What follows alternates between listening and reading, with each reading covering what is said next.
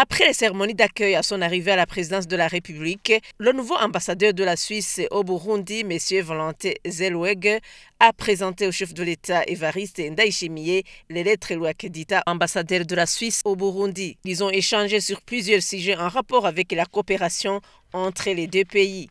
L'ambassadeur Valentin Zellweg s'est engagé à travailler en étroite collaboration avec le gouvernement du Burundi pour renforcer les relations bilatérales qui ces deux pays qui ont un sens commun de vivre leur nation. J'ai effectivement eu l'occasion de pouvoir remettre mes lettres de créance auprès de son Excellence, le président de la République du Burundi.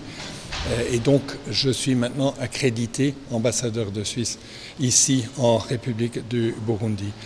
J'ai eu le privilège d'avoir un entretien avec son Excellence le, Président et nous avons évoqué tout d'abord les, disons, les similitudes entre nos deux pays, deux pays qui se trouvent au centre de leur euh, continent, deux pays qui sont plutôt montagneux, deux pays également qui n'ont pas de côte maritime et deux pays qui, je pense, ont vraiment un sens commun de vivre leur nation. Euh, nous avons également évoqué notre coopération, notre partenariat. Vous savez que la Suisse euh, préside la configuration euh, pour la, paix au Burundi. C'est une configuration onusienne. Et donc, ceci nous donne un partenariat tout naturel avec le Burundi. Et aujourd'hui, avec un gouvernement qui nous donne des signes de vouloir progresser, de vouloir s'ouvrir également, euh, nous avons évoqué des possibilités de coopération.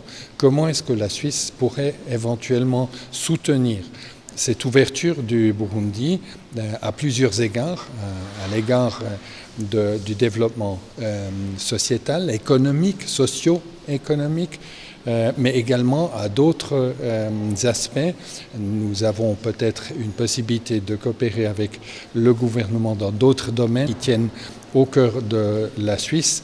Et donc c'est le début d'une conversation qu'on va mener entre nos deux gouvernements pour voir comment la Suisse peut assister le peuple burundais euh, dans ces prochaines années. Et je suis vraiment ravi d'avoir cette euh, possibilité de pouvoir contribuer ma part au renforcement de ces relations bilatérales.